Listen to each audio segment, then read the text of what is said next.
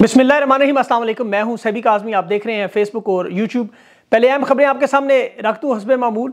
सबसे पहले जो तहरीक इंसाफ का दुनिया की सियासी तारीख में टिकटॉक पर एक नया रिकॉर्ड लगा। एक करोड़ साठ लाख लोगों की शिरकत, बहुत बड़ा कामयाब जलसा। कोई मछली नहीं रोक सकी और दुनिया की पहली सियासी जमात जो जेर ज़मीन जलसे कर रही है, छुप छुपा कर। तमाम तहरीकों में तहरीक इंसाफ अपना नाम सबसे ऊपर ले आई।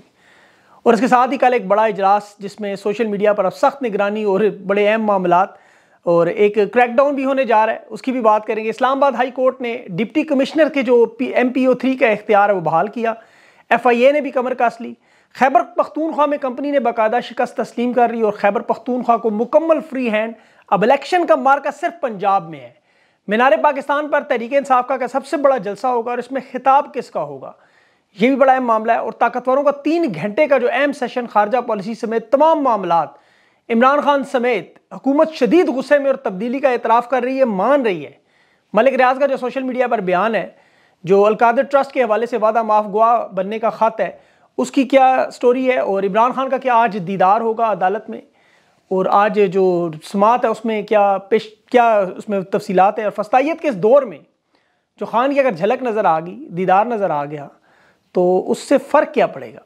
फवाद चौधरी को भी नौ मई के वाक़ात में तफ्तीश में शामिल करके शायद वादा मा, वा, माफ़ गुआ बनाने की कोशिश जारी है। और जंग अखबार तमाम सहाफ़ी नून लीग के मीडिया सेल का बनते हुए बड़ा जाली सर्वे उनका मैं तमाम का पोस्टमार्टम करूँगा आपने ज़रूर देखना है। नौ मई की दिल दहला देने वाली कहानियाँ भी सामने आ रही हैं। शहर शहरयार फ्रीदी भी दस महीने बाद बयान आ गया।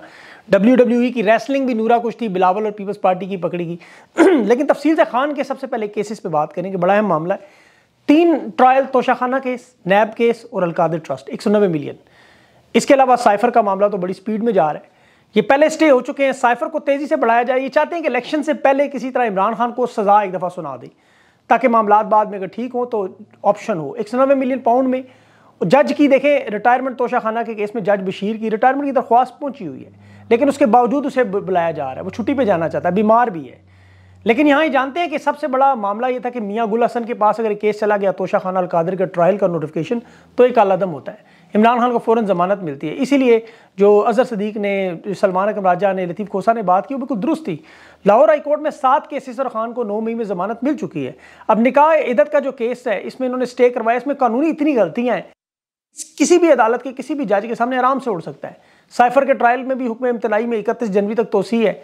अब ये केस भी जो था, जज आमिर फारूक ने सुना हुआ है, अलकादिर ट्रस्ट, ये भी अभी उसके अलावा जो हारून रशीद साहब के इस मामले पर एक ख़त सामने सोशल मीडिया पे, मलिक रियाज ने तो कहा ये ख़त, जिसमें ख़त में हारून रशीद साहब कह रहे हैं कि दबाव डाला जा रहा है, मलिक रियाज पे वादा माफ़ हुआ बनने का, और वो अपना कारोबार समेट के पाकिस्तान से बाहर चला जाएगा, उसके बाद दोबारा कोई इन्वेस्टर यहाँ नहीं आएगा। लेकिन मलिक रियाज किसी सूरत में इमरान खान के खिलाफ गवाही नहीं देगा। अब मलिक रियाज की तरफ़ से जो स्टेटमेंट आई है, वो तो कह रहे हैं हमारे वेरीफाइड अकाउंट से जो बयान आएँगे आएँगे। लेकिन ये बात कन्फर्म है कि वादा माफ़ गवाह वो नहीं बन रहा। उसके तमाम जो असासे मुंजमद किए गए, इसमें भी कोई शक नहीं, जो असासे मुंजमद किए गए, उनकी पहले से कोई इतनी वैल्यू नहीं है। ये मलिक रियाज पर दबाव बढ़ाने का एक सिलसिला था। मकसद था कि किसी तरह मलिक रियाज इमरान खान के खिलाफ अलकादर ट्रस्ट में गवाह बन जाए। साइफर केस में जिस तरह असद मजीद एक किरदार बन रहे हैं, जिसपे इमरान खान ने उससे कहा कि एक दफ़ा ये कटहरे में आए, फिर असल में जरा शुरू होगी और इसका भी किरदार सामने आएगा। सब जानते हैं कि डोनाल्ड लू और जनरल बाजवा को बचाने की कोशिश है और याद रखें, डोनाल्ड लू के बारे में आपको बता चुका हूँ। उस पर आप जल्दी मेरा अमरीका के साथ एक इंटरव्यू भी देखेंगे। उसमें देखें, अमेरिका में इलेक्शन की जो फजा बदलेगी, सबसे पहला शख्स जो कटहरे में नज़र आएगा वो डोनाल्ड लू होगा। ये मुल्क में अंदरूनी मुदाखलात का फॉरन इंटरफेरेंस का, अमेरिका का कानून मौजूद है। उस हिसाब से क्लास लिटिगेशन एक्शन भी होंगे। अब जो तोशाखाना केस के हवाले से जो गवाह है, जिसने दुबई में हिंदुस्तानी कंपनी के सेल्समैन को पकड़ के लाए, वो भी बेनकाब हो गया।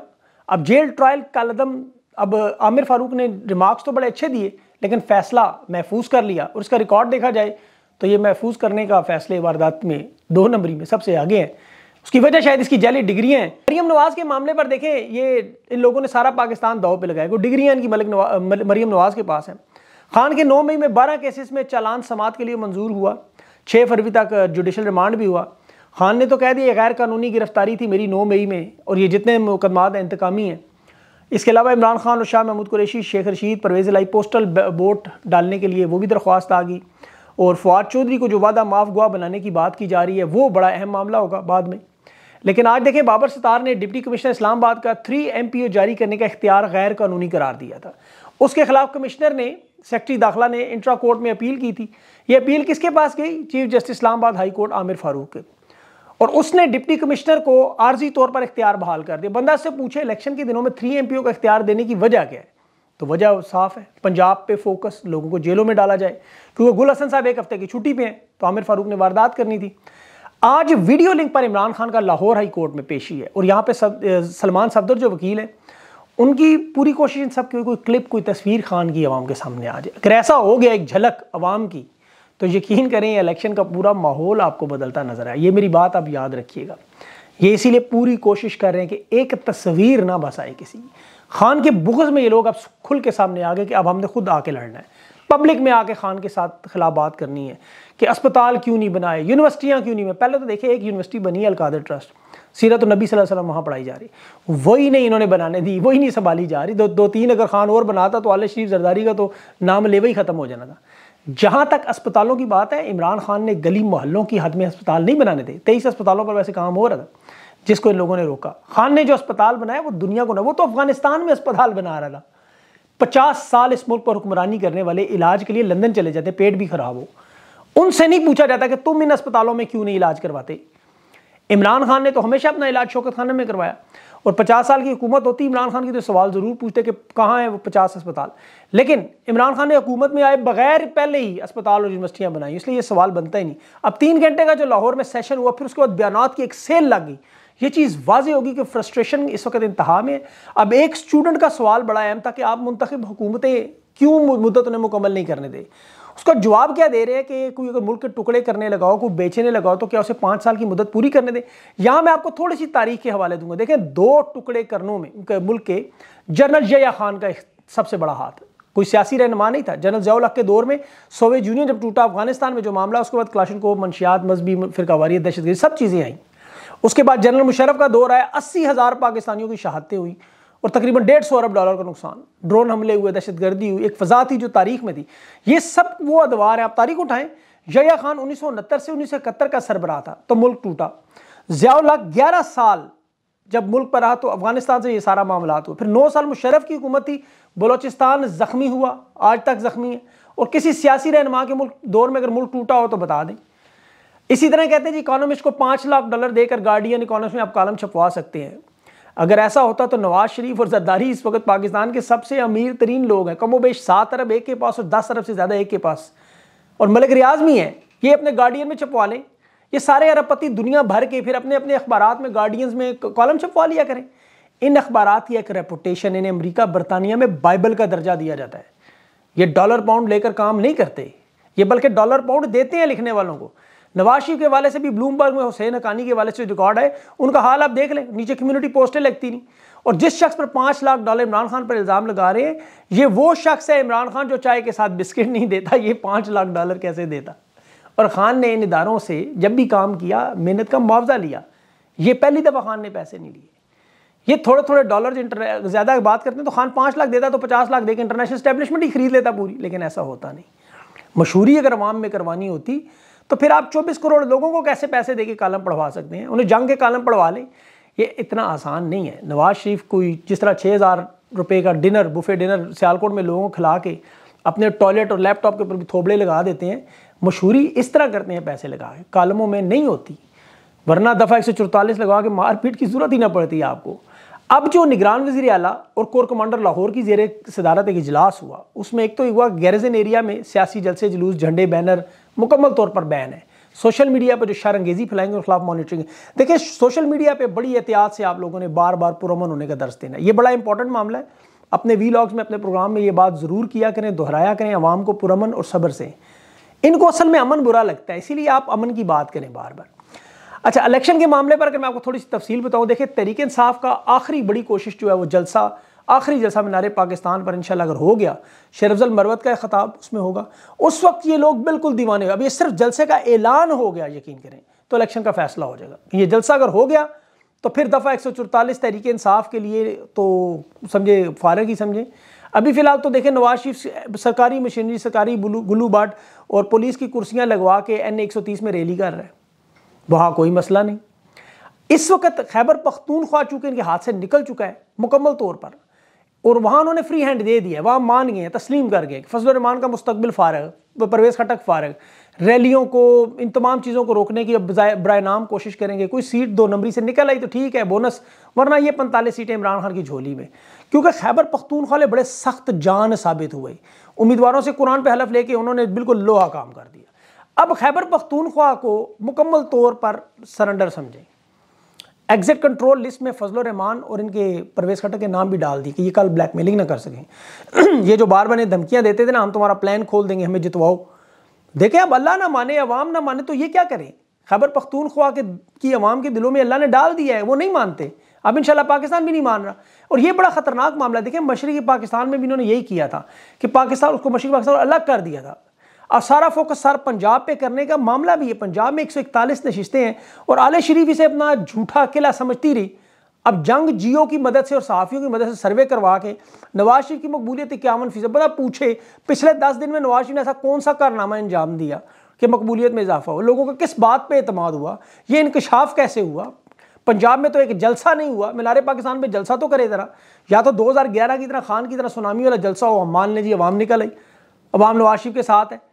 या नवाज़ शरीफ का कुछ जादू की छड़ी या कुछ सोने की कान निकाल दी उसने, अवाम की कोई मोजा कर दिया, वो तो घर से निकलने के गरीब काबिल नहीं रहा। जलसों में तो जिस तरह भी ननकाना साहब में डिप्टी कमिश्नर बाकायदा तौर पर साचा की हाजिरियाँ लगा रहा है। वो तमाम व्हाट्सएप देखें, तमाम वसायल सरकारी, वो मुझे लोगों ने खुद भेजे हैं मैसेज कि किस तरह हमें ज़बरदस्ती बुलाने के देखें मैसेज जंग और जियो एक दफ़ा फिर वही काम कर रहे हैं, जिसकी वजह से लोग इन्हें पढ़ना और देखना पसंद नहीं करते। जिस तरह वो कामरान शायद हो, जिसकी फ़िल्म को इन्होंने बाकायदा स्पॉन्सर किया, इनका लाउड स्पीकर है, ये वो शख्स जिसे नौजवानों ने कल रगड़ा लगाया कि उस्मान डार के साथ तुम्हारी बड़ी दोस्ती थी, तुम्हारे घर से निकला। वो बच्चे ने बड़ा जायज़ सवाल पूछा कि अगवा होकर वो अपने घर नहीं गया, तुम्हारे घर घुस गया क्यों? नौ मई की मजम्मत करता है तो उससे फिर आगे से बच्चे का तुम बुजदिल हो। और फिर दिखाने के लिए कि कितना ताकतवर शख्स है, वो क्लिप अपने ट्विटर पे भी लगाता है। बच्चों को डांट के कहता है वो तुम्हारा लीडर जब गिरफ़्तार होता है तो निकलते नहीं। जब वो निकलते हैं बीस पच्चीस हज़ार तो कहता है, बीस पच्चीस हज़ार निकलना कोई बड़ी बात नहीं। फिर वो कहते हैं आप बच्चे तो आप तो कोफा के लोग हैं, भाई, ये अगर कोफा के तो फिर यजीद की भी बात कर दो। यजीद कौन है? ये कामरान शायद खुद कोर कमांडर हाउस के पार फिरता रहा, खुद कह रहा है। इसे गिरफ़्तार नहीं किया कि वहाँ जो लोग बाकी कवरेज कर रहे थे, उन्हें गिरफ़्तार कर लिया उसमें आफ्ताब इकबाल जैसे लोगों को नहीं छोड़ा। ये कैसे बच गया? और वहाँ इमरान खान के नाम पर जब बच्चे तालियाँ बजा रहे थे तो कामरान कहता जी, हिजड़ों की तरह तालियाँ ना बजाई। से ये नहीं पता मैं कसम उठाने को तैयार गैरतमंद हिजड़ों इन सियासी और सहाफती गिदों से हज़ार गुना बेहतर है। वो गुर्बत से मजबूर होकर तालियाँ बजाते हैं। इनकी तरह डुगडुगी पर मदारी के बंदर की तरह नहीं नाचते। मजलूमों की बेकसी और बेबसी का मज़ाक उड़ाने में ये जालिम और बहिस लोग हैं। और इनके सारे मुलाजिम इसको सुहेल बड़ाई जो ने काम पकड़ा हुआ जी, आठ फरवरी से से पहले रोज़ाना कालम लिखने हैं। रोज़ाना, हर कालम में एक फार्मूला और दूसरे दिन दूसरा फार्मूला इलेक्शन के बाद कहीं ना कहीं तो फिट हो जाएगी कोई चीज़। एक तरफ़ कहता है जी इमरान खान को नौजवान वोट नहीं देंगे, फिर कहते हैं, नहीं जी टर्न ओवर सात सत्तर फ़ीसद तो खान जीतेगा ही जीतेगा। कभी कहते हैं जी सारी सीटें नवाज़ शरीफ ले रहे फिर कहते हैं, नहीं, इमरान खान जीत जाएगा। स्टैब्लिशमेंट रास्ता बना रही है स्टैब्लिशमेंट रास्ता रोक रही है। यार, एक दफ़ा खान से माफ़ी मांग लो, जान ही छूट जाएगी। ये नहीं करने पड़ेगी रोज़ की नोटंकी। ये जालिम लोग हैं, ये नौजवानों को डिंकी लगा के बाहर भेजने पर इन्हें इतराज़ नहीं। ये वो लोग हैं जिस तरह फ्रांस की मलका कहती थी ना कि रोटी नहीं तो केक खा लो। ये अनवारुल हक कहता था जो पाकिस्तान से पढ़े लिखे लोग बाहर चले जाएँ ब्रेन ड्रेन हो, कोई फ़र्क नहीं पड़ता। आपको याद होगा, आज अगर आप दुनिया के तरक्की याफ्ता ममालिक देखें, सर फहरिस्त लोग ममालिक जो नज़र आएँगे, जर्मनी, चीन, ऑस्ट्रेलिया, बरतानिया, अमरीका, कनाडा, सारे नेशंस ऑफ़ द नेशंस बने हुए हैं। इन ममालिक की तरक्की में सबसे अहम किसी ने किरदार अदा किया तो वो तारकिन वतन ने किया। मैं आपको उसकी छोटी सी मिसाल दूँ, आपको समझ आ जाएगी। जर्मनी के दो हिस्से, मशरकी और मगरबी। अब ये दीवारें बर्लन जब उन्नीस सौ पैंतालीस में जब जर्मनी के ऊपर चार ममालिक का कब्जा था, अमेरिका, बरतानिया, फ्रांस, नेटो और मशरक में रूस चला गया। अब जर्मनी इन दो रियासतों के दोनों के हालात मुख्त, मशरक में चूँकि डिक्टेटर था, स्टालन था, रूस का उसमें था, उन्होंने ज़्यादा इजहार राय रोक दी अमरीत कर दी, पाबंदियाँ लगा दी, तबाही बर्बादी, मीशत का हाल इंफ्रास्ट्रक्चर का हाल, बेरोज़गारी, जिस तरह आज पाकिस्तान में हालात। मगरबी जर्मनी में वहाँ क्या जमहूरियत आ गई? लोगों को आज़ादी इजहार राय आया इसकाम आया, मुआशी तरक्की आई। 1960 में दोनों के हालात आप देखें, वहाँ के लोगों को देखें। आप यकीन करें, मैं दोनों तरह के लोगों के साथ मिला हूँ। ज़मीन आसमान का फ़र्क है उनकी सोच में। अब 40 लाख लोग हिजरत करके मशरकी जर्मनी से मगरबी गए जर्मनी गए, तमाम डॉक्टर, इंजीनियर, पायलट, स्किल्ड वाले, आईटी वाले सारे चले गए। माशरे की वो जो क्रीम है, वो सारी निकल गई। प्रोफेशनल, तजर्बाकार, हुनरमंद। मगरबी जर्मनी कहाँ से, कहाँ पहुँच गया? और मशरकी जर्मनी जा ज़मीन से लगा। बिल्कुल पाकिस्तान वाला हाल, बांग्लादेश वाला। पाकिस्तान में भी यही हुआ था। मशरकी पाकिस्तान, मगरबी पाकिस्तान, वहाँ पढ़े लिखे लोग, टेक्सटाइल वाले सारे वहाँ चले गए। इलेक्शन हुआ, ज़बरदस्ती इन्होंने रोक लिया अवामी लीग के लोगों को। इस वकला हुनरमंद वहाँ पहुँचे। मशरकी पाकिस्तान, जो बांग्लादेश है, आज इक्कीस गुना ज़्यादा तरक्की कर गया। और यहाँ सियासी अदम इसकाम आता रहा। अब देखें 2023 में सिर्फ़ 9 लाख से 15 लाख लोग 2023 की मैं बात करूँ छोड़ के बाहर चले गए। डॉक्टर्स, इंजीनियर, आईटी के मायर स्किल्ड लोग, हुनरमंद अब ये मगरबी मालिक में जाएँगे, वो मगरबी मालिक तो ऊपर चले जाएँगे, पाकिस्तान कहाँ जाएगा? आज अमेरिका, बरतानिया की तरक्की में जो अहम किरदार है, वो इन्हीं तारकिन वतन का है। ये सारे पाकिस्तानी देखें कहाँ है वहाँ? इन्हें ब्रेन ड्रेन कहते हैं। अनवारुल्ला काकड़ जैसे जायल समझ ही नहीं सकते। खुद अलावा टैक्सी चलाता रहा सारी ज़िंदगी। ये ब्रेन ड्रेन का नुकसान है। ये नौकरियों के लिए खान कहता था, बाहर से लोग आएँगे, इन्हें समझ नहीं आती, ये मज़ाक करते थे। अब इन्हें समझ आइए इन्होंने क्या किया? नौ मई के वाक़े अमरीका के लोगों की बातें सुने कि किस तरह उनके घरों में घुस के क्या क्या वारदातें, वो एक डॉक्टर साहब अमेरिका में पूरी तफसील से वाक़ बयान कर रहे थे। वो दोहरा नहीं सकता बंदा यहाँ। इसी तरह इनके सरकारी गुलू बट कल जावेद आशमी के घर घुस गए। उसके दामाद, नवासे, मुलाजमीन को उठा के ले गए। इसलिए कि उसने इमरान खान के खिलाफ जो इस वक्त रोका हुआ है, उन्होंने तहरीक का ऐलान किया कि रिहाई के लिए मैं लड़ूँगा। इमरान रियाज को उम्र अदायगी के लिए नहीं जाने दे रहे। पासपोर्ट कंट्रोल लिस्ट में स्टॉप लिस्ट में उसका नाम डाल दिया। इमरान रियाज ने उस पर भी लाहौर हाईकोर्ट में दरख्वास्त दी है। और इनकी आखिर में वो बिलावल और उसकी नवाज़ शरीफ की डब्ल्यू डब्ल्यू की रेसलिंग जलसों में पनामा करप्शन और फजूल हालाँकि सोलह महीने इनके साथ वारदात मेरा सारी कौम जानती है, पता नहीं है उस नबे की दिहाई से निकल नहीं पा रहे। तहरीके इंसाफ से हमदर्दी का वोट लेंगे। वो तुम जाए लो तुम अवाम के शूर को समझ ही नहीं पा रहे। इन्हें पता ही नहीं चल रहा आवाम कहाँ चलेगी, ये कहाँ है अभी तक। अब मामला इन आपको पंजाब में मार्का जो है वो जितने जितने दिन नज़दीक आएँगे उतने उतना आपके ऊपर प्रेशर भी बढ़ेगा। ये अब जो बर्दाश्त करके इन वो फिर पाकिस्तान की तरक्की में अहम किरदार अदा करें ये मेरी बात याद रखिएगा। और आखिर में तरीके साहब को कल के टिक टॉक के जलसे की मुबारक और आप लोगों को जो पसंद की मेरी तकरीर, उसके लिए भी आपका बहुत बहुत शुक्रिया। अल्लाह आपको खुश रखे और पाकिस्तान पर अपना रहमो करम करें। मुझे इजाज़त अल्लाह हाफ़